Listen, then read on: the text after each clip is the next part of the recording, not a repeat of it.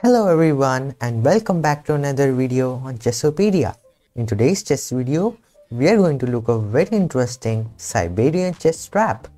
Now this trap was invented when it was played in a tournament held near Serbia in 1987. So this trap is as black and it begins when white plays the move 1 e4. Black responds with a Sicilian defense and here white plays the move d4.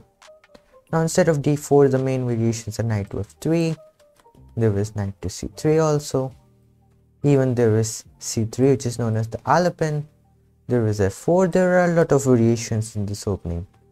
But okay, in this trap white goes for the d4 move. Black has to capture, this is why the pawn came to c5, and here white gives up another pawn by playing the move c3. Now this is known as the Smith-Morra gambit, and this trap white black accepts the pawn on c3 as well.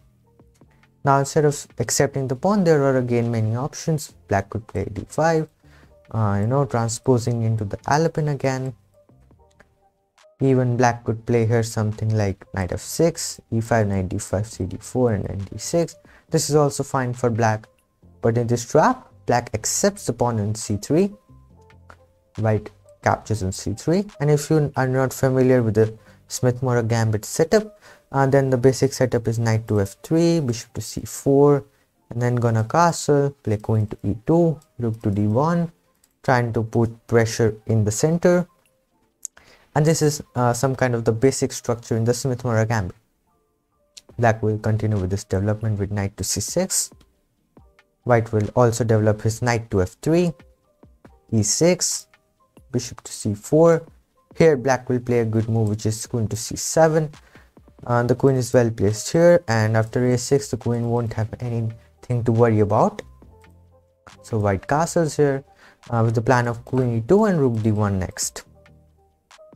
Black plays the move knight to f6 developing another of his piece and okay here white plays the move queen to e2 and in this point the trap begins. Black first plays the move knight to g4 now you might wonder what's the point of putting your knight to g4 because it first of all came to f6 then it went to g4 you know making two moves with the piece in the opening is not really a great choice but it's the trap. So here you might wonder what's the point even going here? Because I know you are attacking on h2 with your knight and the queen but there is this very goodly placed knight on f3 which defends this as well. So what if white just kicks away the black's knight on g4 by playing the move h3 and after you go back it's uh, already not so good for black because black wasted a free tempi and now okay white will simply play rook d1 bring his bishop and white is comfortable. But at this point white has got already into the trap. Now i would like you to pause the video and try to find the killer move for black which wins the game on the spot. This move is really very deadly and I hope you have found it by now. If not yet, do pause the video and try to find out. So the move here is the one and only knight to d4. The two knight attack you can say. The two knights are very strongly placed and black just you know kind of deflects white knight on f3 because white's knight on f3 is also protecting the checkmate. But now this knight uh, has sacrificed itself to help black's queen to checkmate on h2 now if white plays move queen to d3, something like that, maybe queen d1, then black will simply exchange on f3, white will have to take and then queen h2 and this would deliver a checkmate.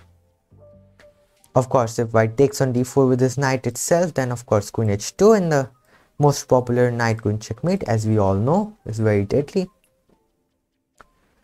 Here, what else could white do? If white would play something like h takes g4, black would simply grab the queen on e2, bishop e2, and already black is winning, maybe even h5 here, and black is simply, simply winning in this position.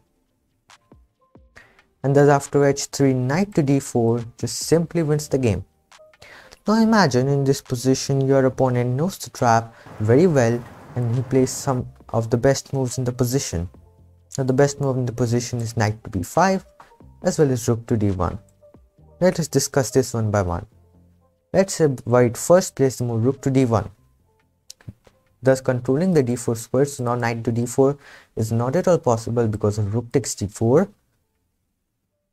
But here comes another very good move which helps bishop to c5 now f2 square as you saw the rook came to d1 so now the f2 square is very much weak and now black is going to take the pawn on f2 so white will have to bring his bishop in and then we will simply take it with our knight. Pawn takes and as you can see black is already very much better. He is a pawn plus in material which he took on c3 for accepting the gambit. And even now white's pawn structure is badly damaged. Black will simply take full benefit of it and eventually win the game. Maybe 95 now is a possibility. But yeah this position already is very good for black. Now instead let's say white plays the move knight to b5 which is the best move in the position.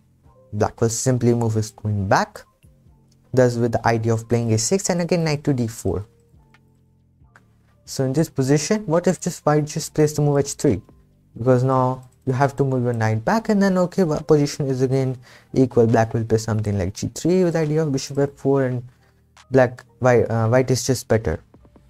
But here comes another very good move which is the move h5 and now as you see i made a video on the fishing pole chess trap which you can view in the i button above. But yes after the move h5 which is very good black is again doing very well and black is certainly better in this position. Because the point is that Black is threatening to play a6 and if the knight moves knight to d4 again which is the same trap threatening queen h2 checkmate later. And if white takes on g4 black will simply recapture with this pawn and the same idea as fishing pole uh, with the rook and the queen eyeing on the h2 square. White's knight won't be able to find a good spot to move and eventually black will win because white's knight will fall. Then okay black will simply be better in the position.